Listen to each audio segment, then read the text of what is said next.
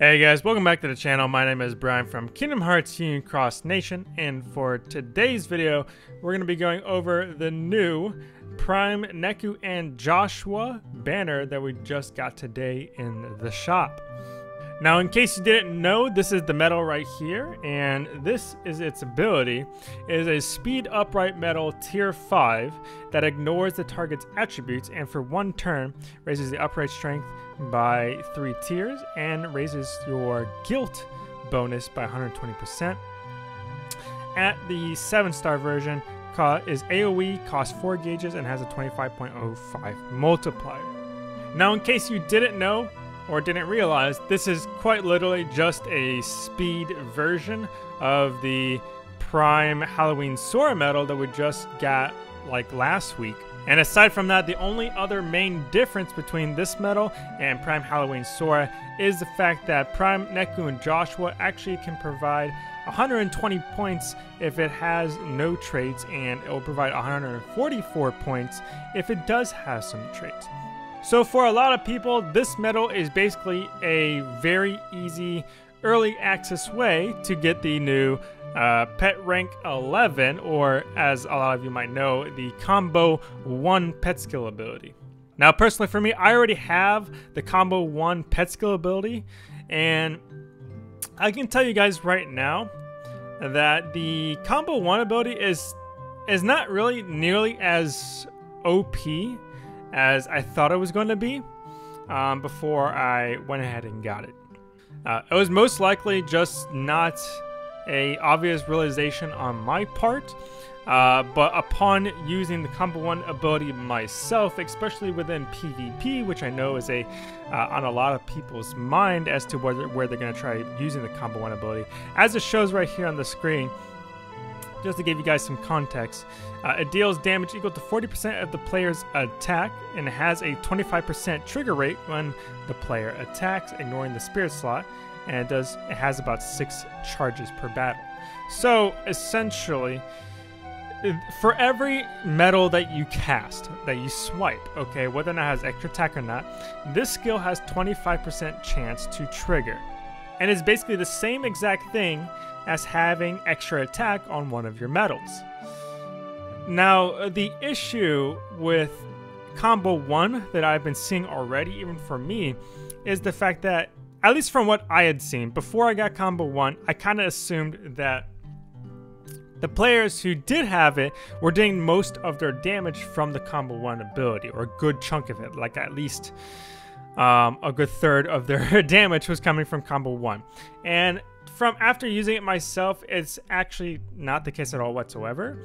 Uh, yeah, it does come into play and it does help when it does.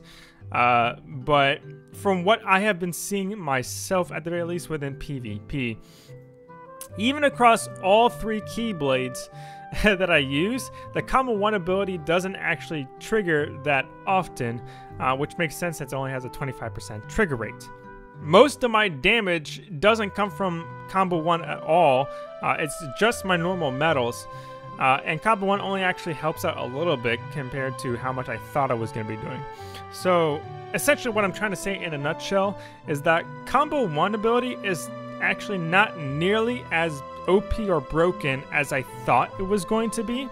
And the reason why I'm bringing this up is because of the fact that obviously the new Neku and Joshua medal again gave you early access to it. So in terms of whether or not you should pull for Prime Neku and Joshua, uh, my advice is pretty much going to be the exact same thing as it was for the Prime Halloween Sora medal that we had last week, which is that the medal is great for any beginners out there who don't have the best of uh, raid boss setups.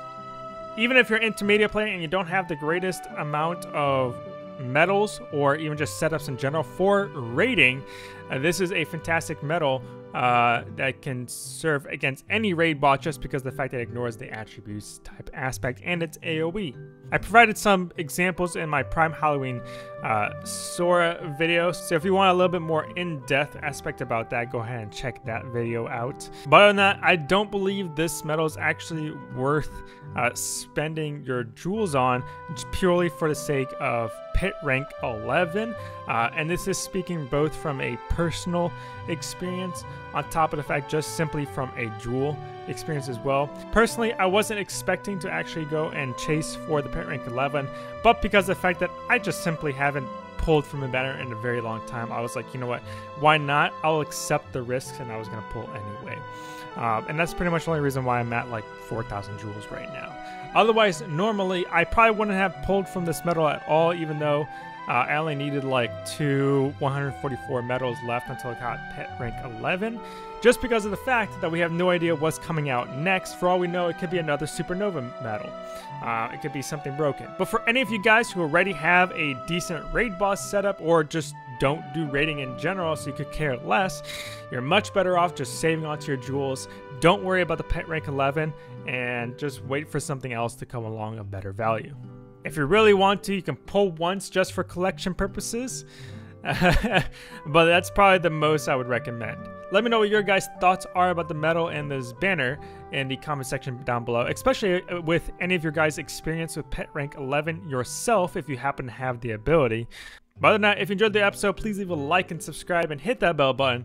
It is the best way to know when I upload a video such as this one. My name is Brian from Hearts Cross Nation, and I will see you guys in the next video.